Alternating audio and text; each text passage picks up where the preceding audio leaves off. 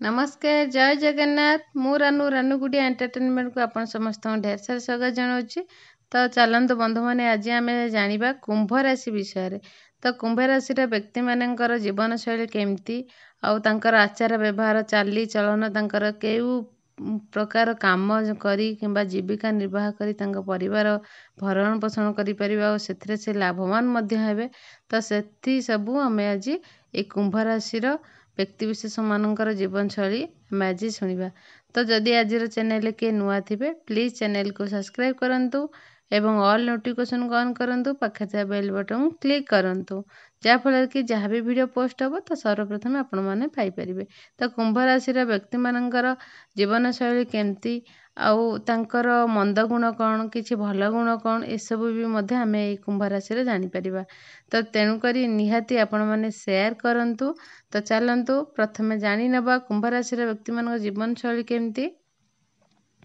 କୁମ୍ଭ ରାଶିର ବ୍ୟକ୍ତିମାନେ ଦୀର୍ଘକାୟ ସୁସଂଗଠିତ ଓ ଶକ୍ତ ଶରୀର ଲମ୍ବା ଓ ମାଂସଳ ରୁଗୁଣ ଦନ୍ତ ସୁନ୍ଦର କେତେକ ଖର୍ବକାୟ ଓ କେତେକ ସ୍ଥୂଳକାୟ ଏବଂ ଗୌରବର୍ଣ୍ଣ ହୋଇଥାନ୍ତି। କେତେକ ଟିକେ ଶକ୍ତିଶାଳୀ ହେଇଥାନ୍ତି ଆଉ କେତେ ଲୋକ ଟିକେ ଶକ୍ତିହୀନ ହେଇଥାନ୍ତି। ତ ଶାନ୍ତ ଗଭୀର ଚିନ୍ତାଶୀଳ ସହାନୁଭୂତି ସମ୍ପନ୍ନା ଅଳ୍ପଭାଷୀ ସ୍ୱାଧୀନ ସ୍ୱାଧୀନ ଚେତନା ବୁଦ୍ଧିମାନ ସ୍ୱକାର୍ଯ୍ୟ ସାଧନତାରେ କଳାପ୍ରେମୀ ନୃତ୍ୟଶୀଳ ଉପସ୍ଥିତ ବୁଦ୍ଧି ସମ୍ପନ୍ନ ମନ୍ଦଗୁଣ ମଧ୍ୟରେ ବଦ୍ରାଗୀ ଅଳସୁଆ ଅଭିମାନୀ ସ୍ୱାର୍ଥପର ଅବିଶ୍ୱାସୀ କପଟୀ କୂଟନୀତିରେ ପରାୟଣ ଏକଜିଦିଆ ଅସାମାଜିକ ଦେଖାଯାଏ। ତ ଆପଣମାନେ କେହି ବି ଖରାପ ଭାବିବେନି ଏଇ କୁମ୍ଭ ରାଶି ଯେଉଁମାନଙ୍କର ତ ସମ୍ପୂର୍ଣ୍ଣ ସମସ୍ତଙ୍କ ପାଖରେ ହିଁ ଏସବୁ ହୋଇନଥାଏ। ଆମର ପୂର୍ବଜନ୍ମର କର୍ମଫଳ ନେଇକି ଆମକୁ ଗୋଟେ ଭଗବାନ ଗୋଟେ ସମୟ ଦେଇଥାନ୍ତି। ଯେଉଁ ସମୟରେ କି ଆମେ ଏ ଦୁନିଆକୁ ଆସିଥାନ୍ତି ତ ତା ଫଳରେ ଆପଣମାନଙ୍କର ଜାତକ ସେଇଠୁ ହିଁ ହେଇଥାଏ ଆଉ ସେଇ ଜନ୍ମ ସମୟକୁ ନେଇକି ଆପଣଙ୍କ ଲଗ୍ନ ଆସିଥାଏ। ତ ତେଣୁକରି ସବୁ ବିଶ୍ୱସାରା ଯେତେ ଜଣ ଅଛନ୍ତି ଏଇ କୁମ୍ଭ ରାଶିର ବ୍ୟକ୍ତିମାନେ ସମସ୍ତଙ୍କ ପାଖରେ କିଛି କିଛି ଏସବୁ ଥାଏ। କିନ୍ତୁ ସମ୍ପୂର୍ଣ୍ଣ ନାହିଁ ଯେ ଜଣଙ୍କ ପାଖରେ ଏସବୁ ସବୁ ଦେଖାଯିବ ବୋଲି। ତ ତେଣୁକରି ଲଗ୍ନ ଅନୁସାରେ ଲୋକମାନଙ୍କର ଚାଲିଚଳନ ଏସବୁ ମଧ୍ୟ ବଦଳିଥାଏ। ତ ଆପଣମାନେ କେହି ବି ଖରାପ ଭାବିବେନି। ବହୁତ ଜଣ ବି କହୁଛନ୍ତି କି କେତେଜଣ ଯେଉଁଟାକି ତାଙ୍କୁ ଠିକ୍ ଲାଗୁନଥିବ ସେମାନଙ୍କ ପାଖରେ ସେ ଗୁଣ ନଥିବ। କିନ୍ତୁ ଆଉ ଯେଉଁ କିଛି ଲୋକଙ୍କ ପାଖରେ ଆପଣମାନେ ଦେଖିବେ କିଛି କିଛି ସେ ଗୁଣ ସବୁ ଥିବ ତ ଆପଣମାନେ ମୋତେ କ୍ଷମା କରିବେ। ତ ଯାହା ଆପଣ ଏଇ ରାଶିରେ ହିଁ ଅଛି ମୁଁ ସେଇଟା କହୁଛି ତ ଆପଣ କେହି ଖରାପ ହିଁ ଭାବିବେନି। ତ ଚାଲନ୍ତୁ ଏସବୁ ଭଲ ମନ୍ଦ ଗୁଣ ଗଲା। ତ ଆଉ କିଛି ଜାଣିବା କୁମ୍ଭ ରାଶିରେ।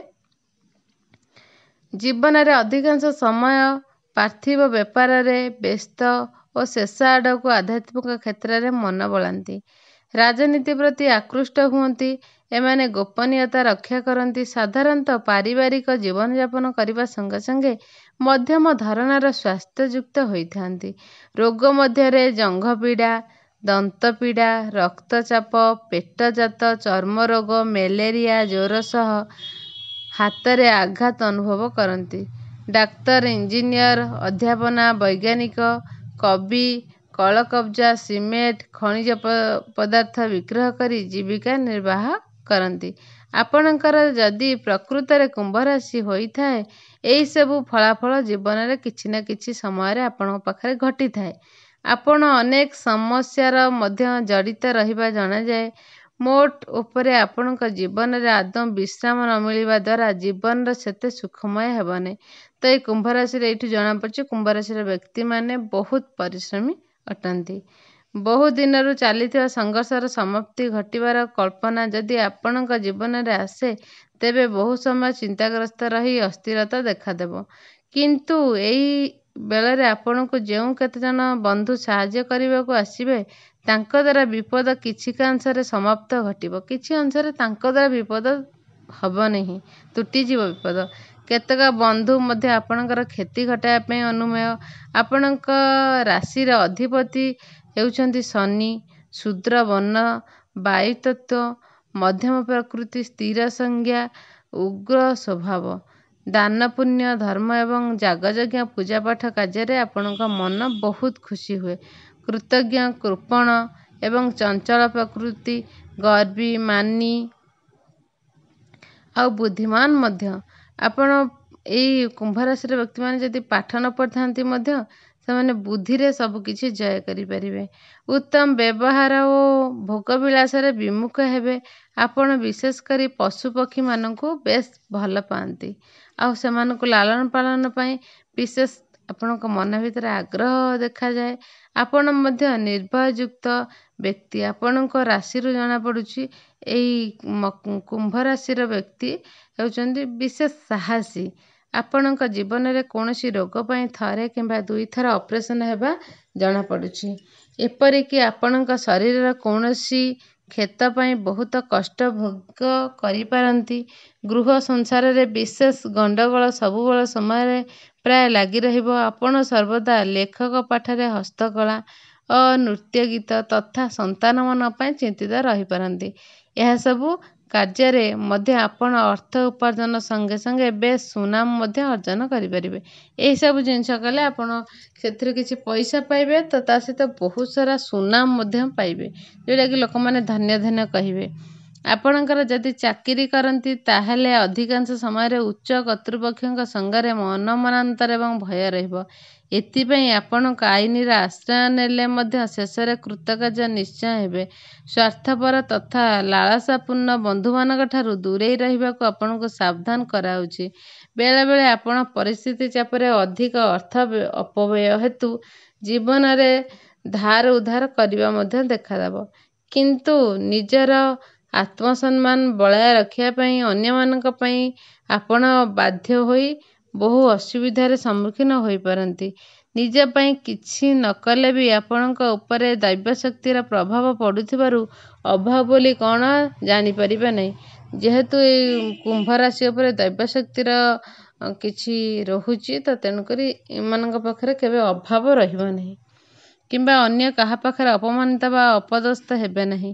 ତଥାପି ଆପଣ ଯେତେ ଅର୍ଥ ଉପାର୍ଜନ କଲେ ମଧ୍ୟ କେତେବେଳେ ଏଇ ଅର୍ଥ ପାଇଁ ଚିନ୍ତିତ ରହିବା ଜଣାଯାଏ। ପୂର୍ବରୁ ଆପଣମାନଙ୍କୁ କେତେଥର କହିଛି ତ ଯଦି ଆପଣମାନେ ବି କିଛି ରୋଜଗାର କରୁଛନ୍ତି ସେଥିରେ ବି ଲୋକମାନଙ୍କର ରୋଜଗାର କିଛି କଲେ ସଞ୍ଚୟ ହେଉଛି କିଛି ଲୋକଙ୍କର ଖର୍ଚ୍ଚ ହେଇଯାଉଛି। ସେଇଟା ଆପଣମାନଙ୍କର ଗ୍ରହ କୁଣ୍ଡଳୀରେ ଯେଉଁ ଗ୍ରହ ବଳୟତାଙ୍କ ଇଏରୁ ଜଣାଯାଏ। ତ ଆଉ କିଛି କଥା ତ ମୁଁ ଆପଣଙ୍କୁ କହି ରହୁଛି କୁମ୍ଭ ରାଶିର ବ୍ୟକ୍ତିମାନଙ୍କ ପାଇଁ। ତ ଆପଣ ଯେତେ ଚେଷ୍ଟା କଲେ ମଧ୍ୟ ମନସ୍ତାପ କରିବାକୁ ବାଧ୍ୟ ହେବେ କୌଣସି କିଛି ପରିସ୍ଥିତି ଏମିତି ଆସିକି ପହଞ୍ଚିବ। ବ୍ୟବସାୟ କ୍ଷେତ୍ରରେ ଆପଣଙ୍କର କେତେବେଳେ କେମିତି ବିଶେଷ କ୍ଷତି ଘଟିବାର ଅନୁମାନ କରାଯାଏ ଏହାର କାରଣ ନିଜର ଅପ୍ରାକୃତିକ ସ୍ୱଭାବ ଚଞ୍ଚଳ ମନ ଉଚ୍ଚ ଆକାଂକ୍ଷା ଆପଣଙ୍କର ଧନ ଆୟ କ୍ଷେତ୍ରରେ ବହୁ ବାଧା ଉପୁଜାଏ। ସଙ୍ଗେ ସଙ୍ଗେ ଚୋରି ହେବାର ମଧ୍ୟ ଭୟ ଅଛି। ବିଦ୍ୟା ଅର୍ଜନ କ୍ଷେତ୍ରରେ ମଧ୍ୟ ଆପଣଙ୍କ ଅଧିକ ପରିଶ୍ରମୀ ନ କଲେ ବିଶେଷ ସଫଳତା ପାଇପାରିବେ ନାହିଁ। ତ ଏଇଥିରେ ଆପଣ ଯଦି କୁମ୍ଭ ରାଶିର ବ୍ୟକ୍ତିମାନେ ବିଦ୍ୟା ଏତେ ନଥିବ ଆଉ ଆପଣ ବହୁତ ଚେଷ୍ଟା କରୁଥିବେ ଆପଣ ଆଗକୁ ଯାଇପାରିବେ ନାହିଁ।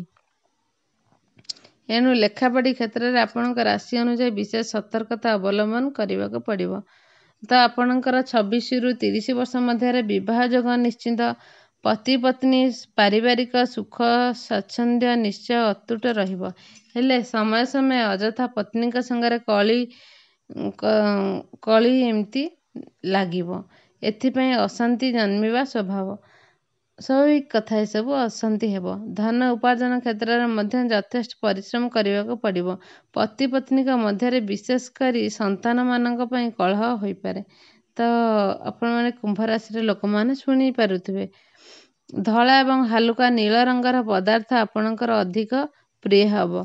କିନ୍ତୁ ଜୀବନରେ ମନୋରଞ୍ଜନ କ୍ଷେତ୍ରରେ ଅଧିକ ଅପବ୍ୟୟ ହେବ ନାହିଁ। ପରିଶେଷରେ ପରିଚ୍ଛନ୍ନତାର ବିଶେଷ ଅଭାବ ଆପଣଙ୍କର ମନୋନିବେଶ କରିବାକୁ ଜଣାଯାଏ। ତ ଏଇସବୁ ହେଉଛି କୁମ୍ଭ ରାଶିର ବ୍ୟକ୍ତିମାନଙ୍କର ଜୀବନଶୈଳୀ। ସ୍ୱାଭିମାନ ବଚନ ଆଉ ମାନସମ୍ମାନ ପାଇଁ ନିଜକୁ ମାଟିରେ ମିଶାଇ ଦେବାକୁ ଆପଣ କେବେ ହେଲେ ପଶ୍ଚାତପ ହେବେ ନାହିଁ। ଟାଉଟରୀ ଜୁଆ ଓ ଲଟେରୀ ତଥାପି ପରଧନ ପ୍ରାପ୍ତି ଯୋଗ ଆପଣଙ୍କ ରାଶିରେ ଦେଖାଯାଉ ନାହିଁ। ଏଣୁ ଆପଣ ଏ ଦିଗରେ ଅଯଥା ଅର୍ଥ ଖର୍ଚ୍ଚ କିଛି କରନ୍ତୁ ନାହିଁ। ତ ଏଥିରେ ମୁଁ ଆପଣମାନଙ୍କୁ କହି ରଖିବି ତ ଆପଣମାନେ ନିଜ ଜୀବନଶୈଳୀ ଆପଣମାନେ ଏଥିରେ ଯଦି ଆପଣ ବିଶ୍ୱାସ ଅଛି ତ ନିଜ ଜୀବନଶୈଳୀକୁ ଆପଣଙ୍କୁ ଆପଣଙ୍କ ହାତରେ ହିଁ ବଦଳାଇବା ପାଇଁ ପଡ଼ିବ। ତ ସମୟ କିଛି ନାହିଁ କିମ୍ବା କୌଣସି ରାଶି ବି କିଛି ନାହିଁ। ତ ରହୁଛି ପୁଣି ଆଉ ଗୋଟେ ରାଶି ସହ ଦେଖାହେବ